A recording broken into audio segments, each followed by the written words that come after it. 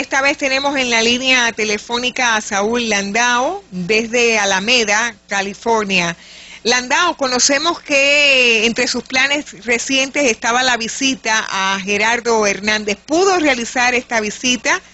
Y si es así, ¿por qué no comparte con nosotros los detalles del encuentro? Bueno, la visita eh, tomó lugar el sábado y yo estaba acompañado por Danny Glover, el eh, actor y activista. Y bueno, como siempre, cogemos el primer avión desde Oakland, California. El vuelo dura una hora hasta Ontario, California, en el sur del estado. Allí alquilamos un, un carro, manejamos más o menos una hora al norte hasta el desierto, eh, a la ciudad de Victorville. Y allí encontramos el complejo federal de penitenciarías. Eh, en el último se queda Gerardo, es el, el eh, la prisión de seguridad máxima.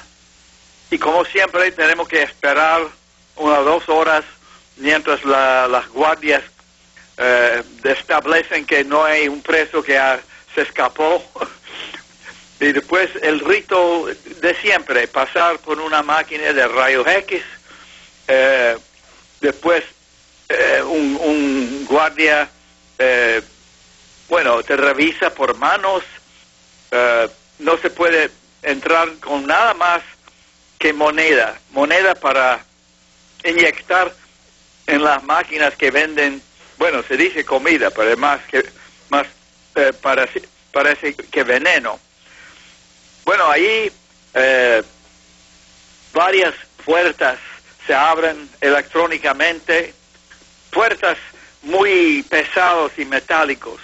Y estamos junto con mujeres, madres, eh, esposas y niños, los otros visitantes, porque lo demás de los presos son, bueno, son criminales comunes, digamos, son reclusas, eh, pero lo decidieron ponerse en, en, la prisión de seguridad máxima. Por fin llega eh, Gerardo, como siempre, lleno de entusiasmo, lleno de energía, con una sonrisa, está muy alegre para vernos y nos sentamos frente a, a, los paquetes de veneno y unos, unos té congelados o té helados, mejor. Y pasamos unos tres horas y media y hablamos de, bueno, de muchos temas, muchos temas. Especialmente en esa visita hablamos del caso y la posibilidad de, de que hay un, un gesto humanitario por parte de los Estados Unidos, porque ahora eh, hay más reconocimiento del caso del señor Alan Gross, que es el americano que estaba trabajando por el uh, AID del Departamento de Estado y fue acusado en Cuba y condenado a 15 años. Correcto.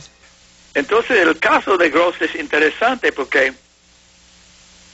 bueno, Danny Glover y yo después eh, siempre lo preguntamos, qué ironía, qué pena que Gerardo y los otros cubanos eh, están en prisión por combatir el terrorismo, mientras el señor Luis Posada Carriles, que orquestó el, bombardeo del avión cubano encima de Barbados en el año 76, eh, él está cenando en, en los restaurantes más elegantes de Miami y entre visitas a su proctólogo, pienso yo, sigue conspirando con su, eh, sus socios terroristas y está totalmente libre. Bueno, pero Gerardo ya tiene una apelación porque su abogado eh, ya dice que no era competente para representarlo en el juicio, que el gobierno americano estaba pagando a periodistas para escribir y, bueno, y informar por televisión y radio en, una manera negativa mientras eh, estaba el juicio de Gerardo y los otros cuatro. Eh, y por fin, eh, la Agencia de Seguridad Nacional todavía no, no está dispuesto de entregar el documento donde el, o el mapa donde está fijado exactamente el punto donde ocurrió eh, el incidente entre los eh, MiG cubanos y los aviones del hermanos de rescate. Y dice que es razones de seguridad nacional, que como si fuera una frase de la Biblia. Eh, no, si, si no había, es decir, que si el incidente eh, tomó lugar encima de, bueno, en, en, el cielos cubanos, digamos, territorio cubano, no existe un crimen. Entonces hay que pensar por qué ellos no entregan el documento. Sin embargo, hay grupos de judíos ahora frente a la misión cubana en Washington con eh, carteles diciendo que injusticia cubana gross. Eh, es decir, que están demandando un gesto del gobierno cubano, pero ellos no hacen un, el mismo frente a la Casa Blanca, demandando un gesto por parte del presidente Obama para que se, se suelten los cinco. Yo creo que esta, y Gerardo está convencido, si hay gestos humanitarios como eso, se puede lograr su libertad. Vamos a ver, hay que hacer una campaña. Eh, bueno, hay 10 eh, ganadores del, premio Noble que están de acuerdo que el caso contra los cinco era muy flojo y, manchado, uh, como Amnesty International también y la Comisión de la ONU de, de Detenciones Arbitrarios. Todos concluyeron que no era posible para los cinco de recibir una, un juicio justo en Miami. Bueno, esta es la, la, un sumario de nuestras conversaciones durante tres horas.